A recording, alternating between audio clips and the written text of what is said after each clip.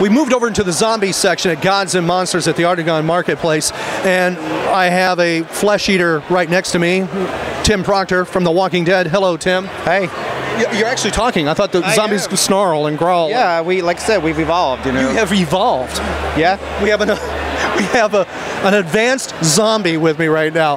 Now, how are things going for you at at the big event here, the one year anniversary? It's great. I mean, the place has been pretty packed. I mean, from what I can see, you know, I love the place. So Not to break the illusion, it's is it kind of hard to see with uh, the eyes? it's not that bad. You got about 80% vision right now, so I can kind of see. Just like I'm in fog. It's very cloudy. That's the way I am all the time. Yeah. Walk around in a haze. I take these off. It's like, yeah, I, I have that going all the time. Right. Now, one of the things I know some people don't realize is you're an actual artist. You that's what you do all the time when you're not as a zombie. Yeah, that's my full-time job. Is I do illustrations and you know I do commissions and stuff like that. So, So you consider yourself an illustrator. yes.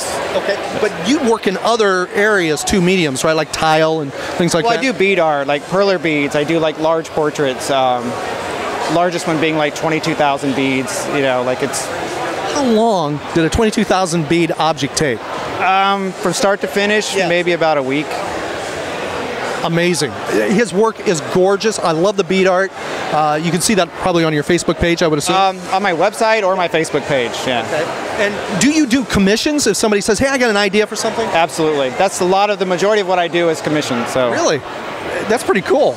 Eh, whether it's the bead art portraits or it's you know like paintings or you know even animal portraits, I do pretty much everything. So. See, I asked somebody earlier because I'm kind of curious that some people will not touch animals for some reason, and that, but you do animal work as well. I started doing after I got out of art college. I didn't do a lot of art for about eight years, and I kind of getting back into art. I started with pet portraits, and then I kind of went doing sketch cards and stuff like that. So yeah, And you do sketch cards as well, zombie-wise, or um, I do sketch cards for The Walking Dead, trading cards, Star Wars, Lord of the Rings, uh, Mars Attacks, Hobbit, like all kinds of stuff.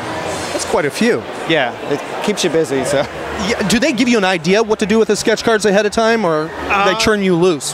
they'll yeah they'll have instructions on what we can or can't draw. If there's a likeness that we can or can't can't do. So Do they give you access to things to use for, you know, reference points or anything? really just our own reference. I'll go online, look for you know, or I'll watch the film or whatever I need to do. Yeah. We have to ask the questions that now that probably are so boring to you that you've been asked 100 billion times. But how long did this take? Generally, full makeup takes about an hour and a half to two hours. We actually spend a little more time on it uh, today. We probably, I don't know, maybe three hours. I lose track of time, but Does, does that itch at all? The spirit glue gum, I'm assuming you're using, no, not at all. and the contacts don't hurt or anything. No, just a little bit cloudy. Other than that, it's it's not bad. Now, the very first time you zombified, you you got made up. Do you remember? Was it? Were you prepared for it? Did somebody say it's going to be like this, and was it like what they told you, or was it just totally You mean different? on the show? Or yeah, on, on the show. On the show? First time. Well, I kind of I knew a lot of people that had worked on the show. You know, I talked to them. You know, but they said you know just be prepared because there's a lot of fans out there, and it can be a little crazy if you're you know if you're featured or you have photos out there. But um, my first day on the set, I was in the full hero makeup with the lenses and the contacts, and I knew what hero meant. So when I show up, they're like, "Yeah, we have our three heroes for this scene." I'm like, I was pretty excited because that was the first time on, and I was like, got the full makeup, so that was pretty fun. Like, So what did Tim do? Just out of curiosity, because you wanted to be on this show really bad, right? You're a big fan. This was what you wanted. What was when you got it done? I mean, were you like a, a five-year-old kid in a toy store? I mean, did you did you text family, friends, or call them? or were you rest- or were you restricted? Yeah, I really couldn't talk about it. Um, I probably went maybe six or seven months before I even publicly told anybody that I was even on the show for the first time I was on the show. So I had to hold it in to all my friends and not, you know, obviously there's some family members that know because you have like, you know, emergency contacts and stuff like that, you know, but um, as far as just letting my friends know, it was like a six or seven month wait. Wow. And so Although I did get to post about Zombie School because there was a photo or there was a video on Zombie School Walker University Right. that aired and people spotted me on that. So they kind of knew, but I was like, but that doesn't mean I'm on the show yet.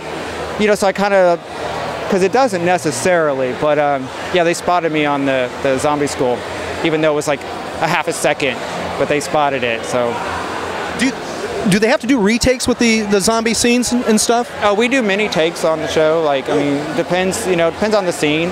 You know, they'll do different angles and different takes. So, You know, I don't go into all their details about what We can't do that. But, but I mean, yeah, I mean, as with any film or movie or whatever, you know, you're going to do multiple angles and multiple takes, you know, to see what works best. So yeah, Well, I won't ask any more questions because we don't want to get him in trouble. That's what that's our key here. No, and, and then myself in trouble because I got you in trouble. We don't want to do that. Your art, can people purchase it online and make commissions with you online and stuff like? can contact me through my website or on Facebook. Okay. And um, as far as prints, yeah, they, I haven't.